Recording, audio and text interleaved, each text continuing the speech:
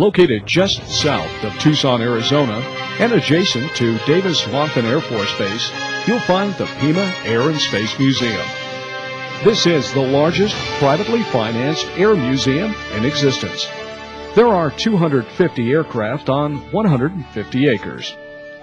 Five hangars house thousands of aviation and aerospace artifacts. The aircraft collection ranges from a replica of the 1903 Wright Flyer to the supersonic SR-71 Blackbird. All military services are represented here as well. An excellent way to view the outdoor exhibits is on a tour. Docent guided walking tours are available as well. There's even a chance to visit John F. Kennedy's Air Force One. See where the President, Secret Service, and Press Corps all sat. And of course, you can look inside the cockpit.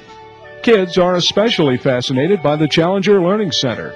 Here, they can prepare for and fly a simulated space mission.